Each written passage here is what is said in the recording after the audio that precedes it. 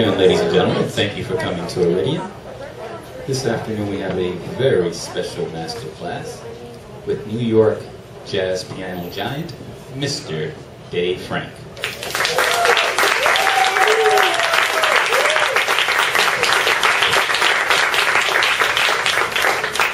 Good afternoon, everybody. Thank you so much for coming. Well, we're going to, um, can you, can you remember? Mike. Mike. Okay, we're going to learn the, the technological things quickly. Okay. What we're going to do today is we're going to really have a celebration of the piano. And this um, wonderful instrument hasn't changed in hundreds of years and that's because it's still really hard to play. and uh, the first thing we're going to do today is we're going to study and appreciate the work of one of the great, great jazz pianists of all time. His name was Dave McKenna. He just left us uh, about a year, year and a half ago. And what um, what interests me about music is that it's both an art and a science it's very, it's an absorbing subject because it has emotion to it and it has um, many different feelings that you can express through this instrument. But it also has a science to it, and the science is a science of music, and it's a science of how you play the instrument. So I often think of music as as if it was a watch. So when you listen to a recording, you're, you're just, it's like you're watching the, the watch go around. It looks perfectly basic and easy and fine. You can tell the time. But if you're a watchmaker and you turn the watch around and you open it up, you see what goes into it. And what goes into it is very profound. And so what intrigues me about music, aside from playing it and listening to it, is studying it. And the great musicians that have given us such a great legacy of jazz have been absolute geniuses. And what I'd like to do is try to share with you some of the thought processes that goes into a jazz piano performance. Um, improvisation is an art and a science, again. And what guides the musician are certain concepts of improvisation. So the one thing that's real interesting about what we'll be listening to today is that a good deal of it is improvised. So if you were to basically open up the head of the person playing, you would see the notes happening at the same time as you're hearing them for the first time. Now, in order to accomplish such an art, there are many different concepts that the performers use and Dave was a, uh, Dave McKenna was absolutely brilliant in his use of pianistic concepts and musical concepts. So I thought it might be interesting just to explain a little bit about what Dave is doing, and that will be a segue into doing some of my playing on your own. We can take questions. This part of the program is pretty loose. Um, I do these classes once a month. So far, I usually record them on Ustream, uh, which is a great new technological advance. And we have uh, classes now up on Frank Zappa and Bruce Hornsby and Charlie Parker and Keith Jarrett and uh, Eric Dolphy, right? Eric Dolphy was the last guy. This one's not recorded, so you better remember. There'll be a pop quiz at the end of this performance. Okay, the first thing we're going to listen, do is listen to this great genius that we were privileged to have among us for, how old was he, Mike? Do you know how he died? Probably his er, mid 70s, something like that. This man's name is Dave McKenna. He's one of the great piano players of all time. First thing I want to do is just play a recording, and this is a CD called Live at Maybeck. And the first tune we're going to hear is called Exactly Like You. We'll just listen to it, and then I'll talk a little bit.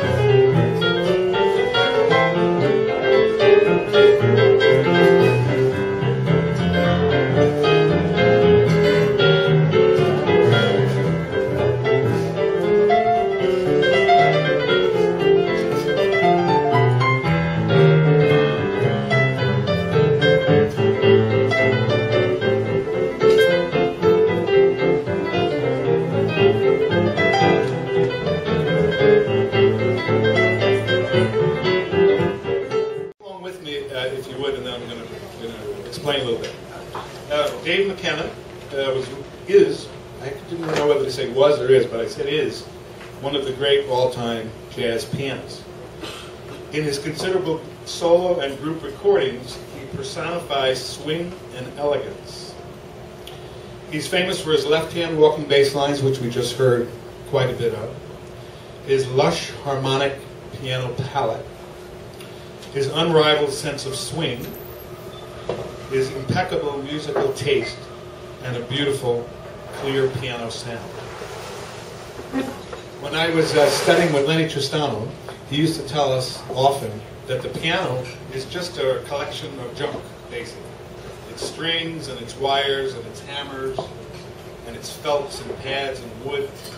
And he would invariably say, the way most people play it, that's how it sounds. but when somebody like Dave McKenna plays it, it sounds almost as if you found a, a bottle, a genie bottle, and you just look like a nothing special, but when you rub it, this incredible thing comes out. So um, I want to just explain some of what he's doing to the best of my ability, because I think it's very useful to have an understanding of this music, because it is a, a in terms of music, jazz is the rocket science. Uh, it's relatively complex, and the more one can understand it, the better you'll enjoy it. And there's a lot to enjoy in this music. So we basically think of improvisation as having two different parts. We have one, looks like a V. One side of the V is what we call musical elements. And musical elements is the nuts and bolts of any performance. So when we're talking about musical elements, usually we're talking about things like scales and chords, arpeggios, chromatic approaches, voicings, the nuts and bolts that make up playing. That's what we mean by musical elements. And that's the first thing you need to learn as a player, is what notes to play. Basically, that's what, what notes to play. The second part of improvisation is what we call improv concepts. And improv concepts is what you do with those notes. So you only have 12 different notes, although there are 88 on the piano. But even knowing the scales and the arpeggios and all the voicings and all of that, the art of improvisation is what you do with those notes. And that's what we mean by improv concepts. So I want to share some of those both with you, and then we're going to listen to Dave again, and I think hopefully we'll, we'll all appreciate it more.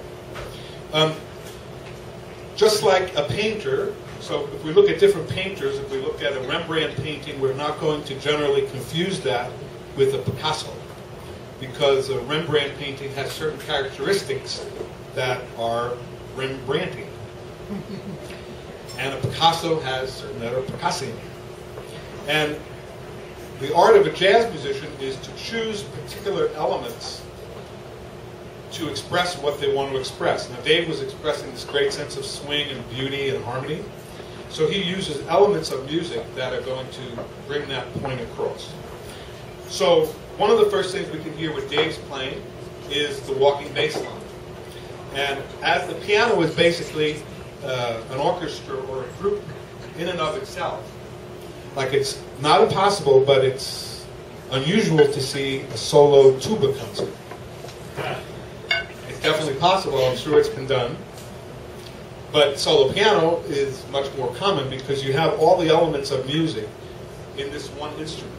The piano can, in and of itself, create melody, harmony, bass, and rhythm. So one of the hallmarks of Dave's playing is this great bass line. And the bass line is basically doing what a bass player would be doing in a group. So the bass player is basically doing a melodic line in quarter notes and outlining the various chords that are happening in the song. So on piano, you can do that with the left hand. That's what the left hand's good for. Now you can save a lot of money on bass players with this game. and, you know, that's good. Also on planes, they have to carry the whole thing. So I, sometimes I put my left hand just on the seat for itself. I just make believe it's a bass player. So a bass line is a quarter note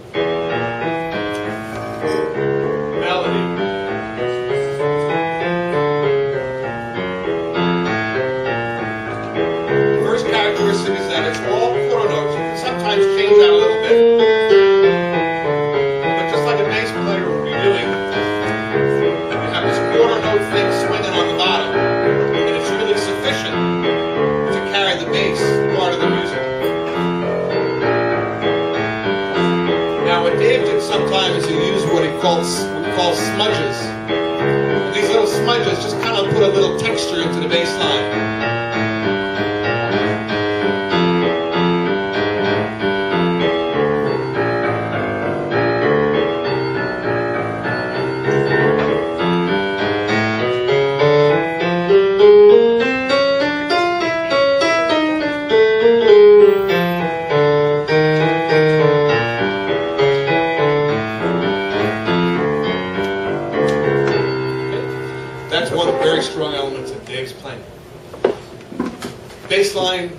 Swings, hopefully. It's great, it's great fun to do it. Uh, the bass line is, takes the place of a bass player. And there are other things you can do also in the left hand, and one of the things to listen for in Dave's playing is how he's changing up the left hand concept frequently. The key to understanding many jazz pianists, or most jazz pianists, is to know or understand what's going on in the left hand. Because the left hand is basically, in most cases, simulating a rhythm section. So in addition to the bass line, uh, Dave also does something we call four to the bar. Sometimes we can call it four on the floor. And that is a chord played on every beat. And this particular technique, which we'll, we'll hear, four to the bar, goes like this.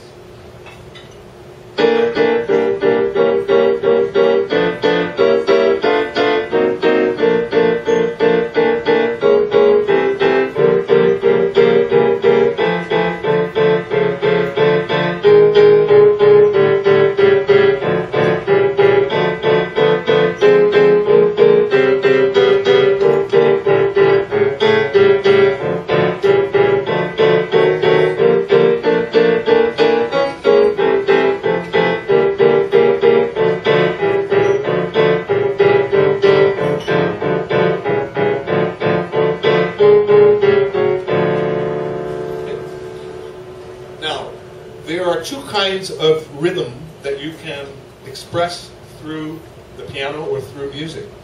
One kind of rhythm we call obvious rhythm, and another kind of rhythm we call implied rhythm. So Dave is generally playing some form of obvious rhythm. Obvious rhythm means there's no question where the beat is. The beat is right here. Now Dave sometimes gives it gives the beat to us in a bass line. Where the beat is.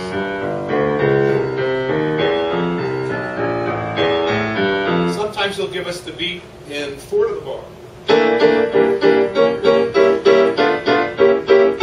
Now, one of the differences in is in the movement of the melody between those two. In the bass line, the melody is moving on every note.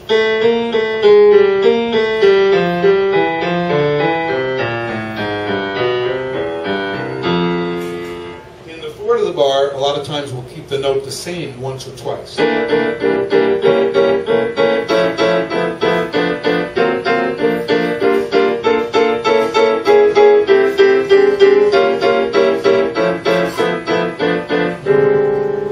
But both of you give them that give you that sense of beat very strongly. Okay.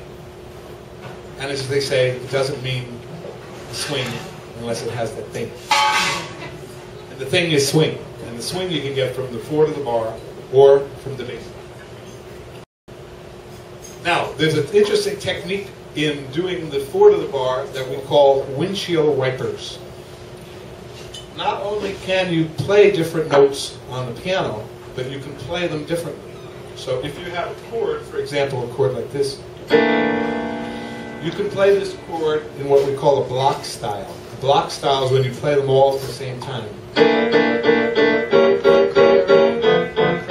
Basically like somebody with a boot stomping. But you can also play it what we call a windshield wiper. And the way to get this is to visualize a, actually a windshield wiper moving across a bus and to play the chord like the way that the windshield wiper is moving. And generally that sounds like this.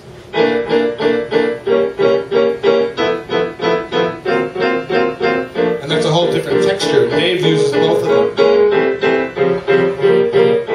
So one of the axioms of music is that anything done too long becomes boring. So even this phrase, he repeated it one time, and then that was it. You have to change it. So if you're playing this kind of four to the bar thing, you can change the texture by using these windshield wiper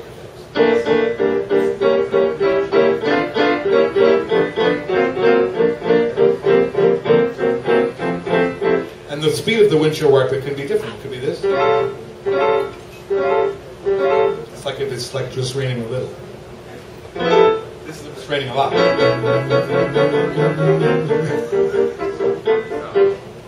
okay, so that's an interesting uh, part of the left hand.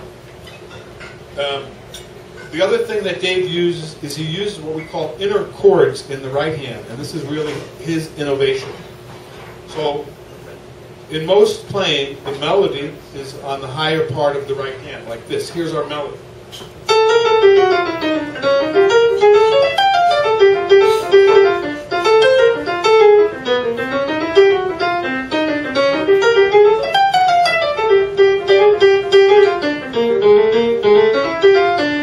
So the melody is in this part of the piano, basically. What Dave did is he added some chords in the middle very quickly. And this gave you the illusion that there were three dimensions, or three, two people playing at once. The inner chords sound like this.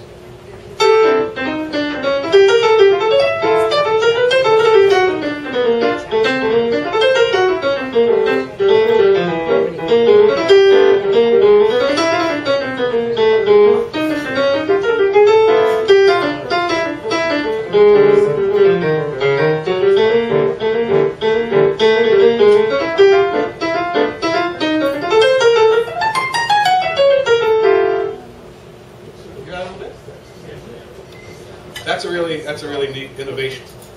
Now, the beauty is when you put these parts together. So again, it's like if you have a watch, and you can see how all the things are moving together to create this valuable instrument. If we just take those parts that we've studied so far and put them together, we have a good deal of what Dave is doing. Maybe about 50% of the time. So I'll do it slowly and you'll, you'll catch it. We'll start with the bass line.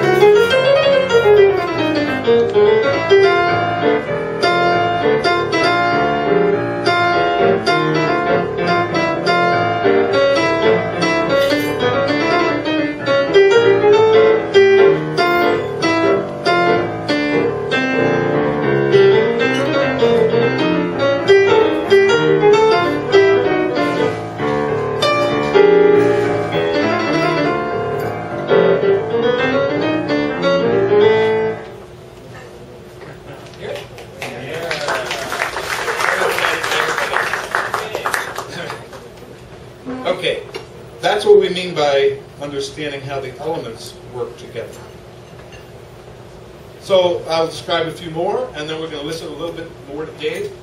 And um, this is very interesting here, this little diagram. One of the things that, that Dave does, and other great pianists do it as well, is they divide the piano mentally into zones. And those different zones are like different parts of the orchestra. So just exactly like a conductor would point to the woodwinds, or point to the basses, or point to the percussion, the pianist, in his mind, is using the bass part of the piano as if it was like the bass part of an orchestra. So he would actually is conducting the piano. So this is an interesting diagram. It looks a little bit like an evacuation plan. but I think again it will be illuminating. So it, mentally, Dave. Okay, mentally, Dave took the piano and, and, and thought thought it into three different zones.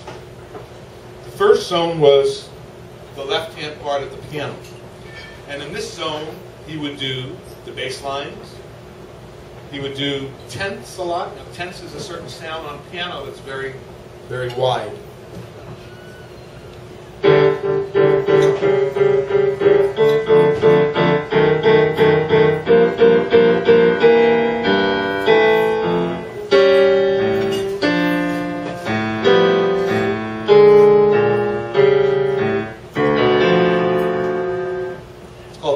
Dave used those a lot low in the piano.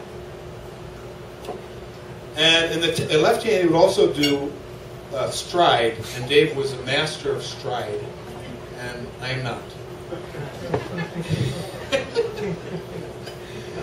Next subject. stride is when you have two layers of music going on in one hand. And stride is where you have one layer very low like this, and one layer in the middle like this and you juggle them constantly to create two different layers of melody.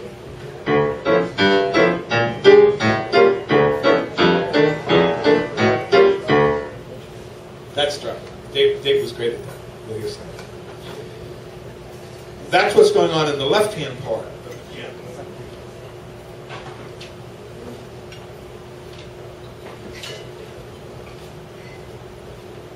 Okay. In the middle, he's doing uh, either a low improvisation, and one thing that Dave did was he used the range of the piano fantastically. So if you hear a low improvisation, it's going to sound like this. That's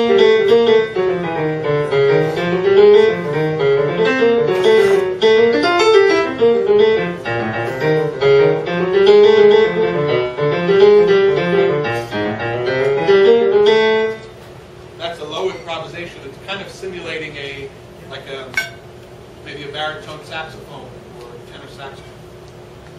He would play the melody to the song in the middle of the piano.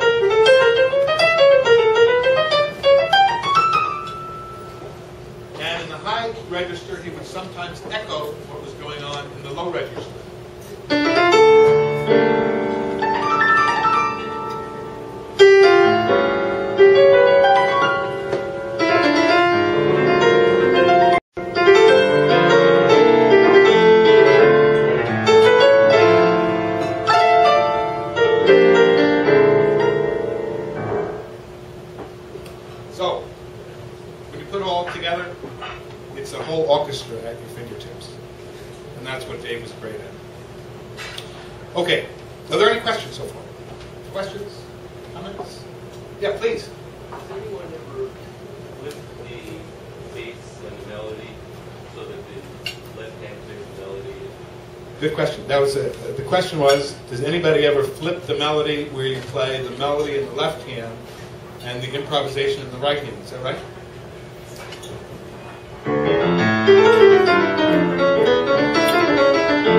Now, it's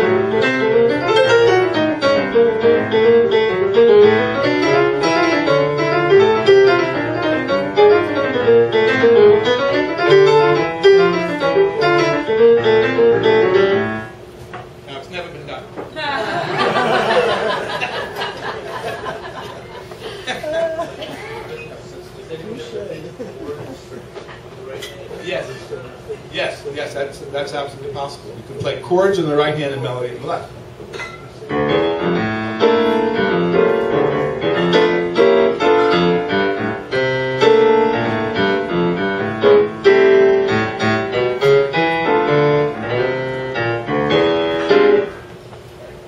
The, way you think about that is it's a different part of the orchestra. So the very last assignment, I, I was privileged to study for many years with a wonderful teacher named Charlie Banacos, who just left us just a few months ago. And one, I think it was either his last or second to last assignment, he would give you tapes by mail.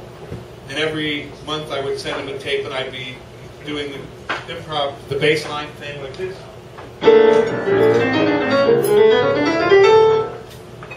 And so the very last tape he sent me, he said, I have this exercise for you to do. I want you to switch the two hands and play the bass line with the right hand and the improvising with the left hand. See you next month. So we tried that. It worked out okay. It's a good question. You can think of the piano orchestrally in any way that you like. So, for example, in different parts of the symphony, the basses may have a solo, and perhaps the violins are uh, answering the, the bass. You, you can simulate that on piano. And one of the exercises that Charlie gave me was to listen to orchestras and to take the concepts of music from the orchestra and adapt them to piano. It's very interesting. Okay. Questions? Please. This technique is specifically for solo piano. Absolutely. What happens when you play with a trio? How do you modify these? Zone one goes out the window, basically. Zone one, you're playing generally, depending on the player, because you can do anything. But in general, zone one, which is the left hand, is what changes the most. And there, basically, most pianists will play some variation of chords, because the one thing you don't want to do when you have a bass player is play a bass line. That kind of ruins ruins his whole shtick. So that's how it changes. Mostly, the right hand will stay very similar, but the left hand will much simplify. And also, you won't play as low. So when you, if you're playing bass line on the piano, you can play way down low. The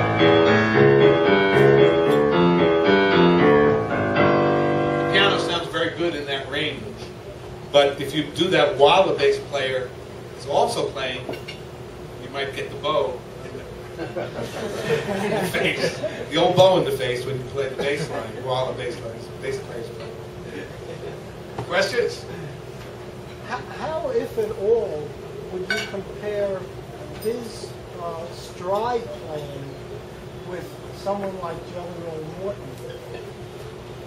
It's a good question. I'm not an expert on that style. I, I mean, I think um, Dave was was a stride master, and I think um, from what I hear, Dave played pretty much straight stride. Dave, Dave's stride was either a, a low bass note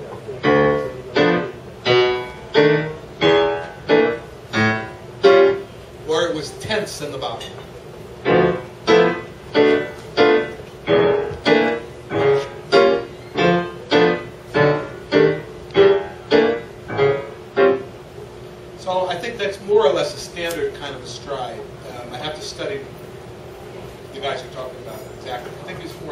Less playing it straight. The straight stride. Questions? Mike? Lots of piano players use walking bass technique. Yeah. Why, why does Dave swing so much harder than everybody else does? It's a good question. A lot of piano players have used the bass line, but why does Dave swing so much harder? This is one of the intangibles about music. His sense of rhythm was so deep that he could convey to you pure essence of the pulse in his own way. And there's really no answer for that. This is what made him great. The art of it, this, this is in the art, not the science. And Dave's sense of time was so deep and so perfect that he, he propelled you along in a, in a way that no one else could. There, there's no real answer to it. He, he had a sense of time that was so even that all the notes were just perfectly placed. If you heard him, if you heard a record of his, would you be able to identify it as his? Well, Well, The question is, if you heard a recording of Dave McKenna, would you be able to recognize it? I think If I owned it. What's that? If I owned it. Yeah, uh, I mean, there are a lot of people that have played this kind of style, but I, I think, I think probably yes. Just like if, you know, there are a lot of people that did um, Picasso-like style, but you could more usually catch when it's really him. Um, I'm- sure there are people that can imitate it pretty well, but probably we, you would know, just by the use of all these nuances. Well, as, as, as a follow-up, um, for example, Bill Evans was absolutely distinctive. As soon as Yeah. you hear, hear him start playing, you know who it is. Right. Did, did Dave McKenna have that Yes, kind of? they've had that too. And that's a matter, a, a lot of that is what we call touch. And I'm going to get into that real briefly because it's very interesting. Uh, Al asked if you, uh, he mentioned that if you put on a Bill Evans record, you could tell it's Bill right off the bat. And a lot of that has to do with touch. And the way that you get different sounds out of this instrument is in the use of touch. If you have a uh, saxophone, depending on the air that you're blowing into it, the, the, the strength of the column of air, you're going to get a different sound. And you can create a vibrato, you can create a very, very loud rock and roll tone, or you can create a very soft tone. On the piano, it seems you can't do that because all you're doing is hitting the string. There's, there's no controlling of the sound once you've hit it. On a saxophone, you can make a sound, control it. But actually, on piano, you can control it, and this is what we call touch. So if you look at the bottom of the page, before we listen a little bit more to Dave, is the secrets of piano touch, and Dave was a master at this. And what you're trying to do with touch, to a large degree, is you're trying to bring certain parts of the music out and certain parts of the music down. And the way you do this is, one way is by changing the velocity of the, of the attack on the note. So this, this is kind of an example of not bringing anything out.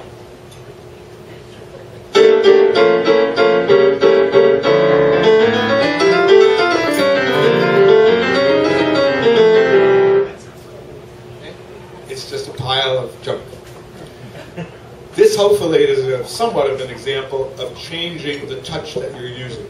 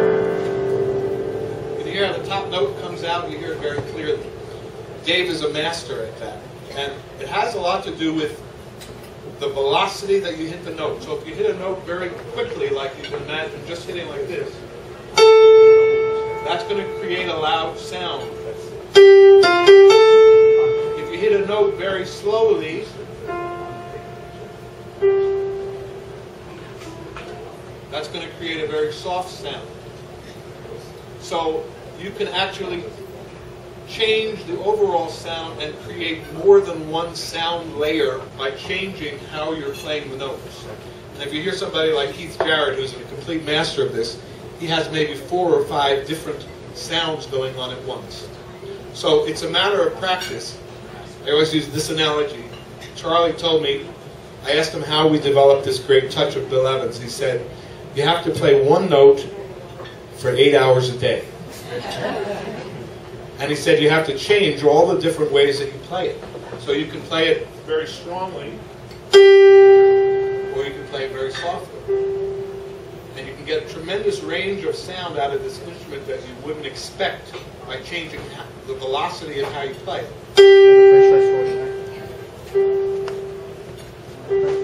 So when you hear somebody like Dave, you hear somebody who's controlling all of this consciously. And usually you want to bring the melody out.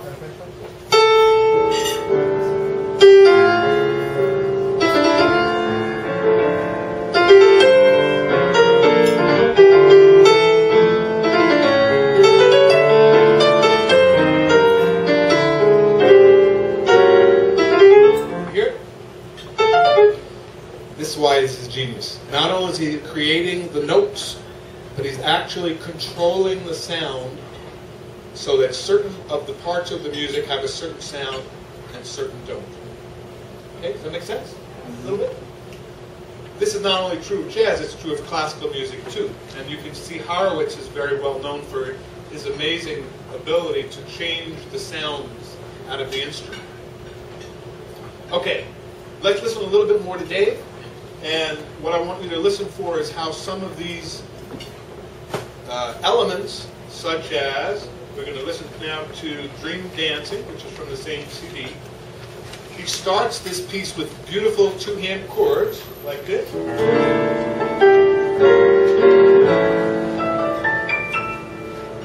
And that's a good way to kind of break into the mood of the piece. And usually when you're playing jazz piano solo, you usually wait a little bit to swing. So when you swing, people are really impressed with the swinging. So you start playing the lush chords, and then from there he goes into that fourth of the bar with the melody. And this is giving you that beat real strong. Okay. And then from there he's going to improvise with some of those inner chords.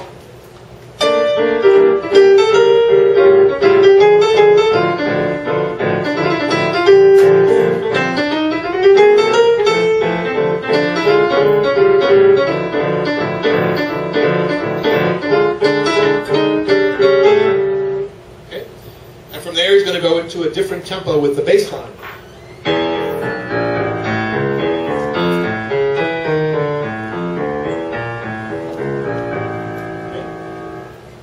So the trajectory of this performance is just like if you saw a movie where the intensity is building and then the intensity is falling. So the, the artist is consciously playing with the intensity level of the performance. And if you're seeing a movie, you want to see certain spikes of intensity and then it releases. Spike of intensity and release. And Dave is doing this with his performance. And that's what I'd like you to listen for. So he starts out very lush. And he starts with the intensity level very low, so he has a long way to go. And then he kind of brings in a simple uh, groove to get you swinging.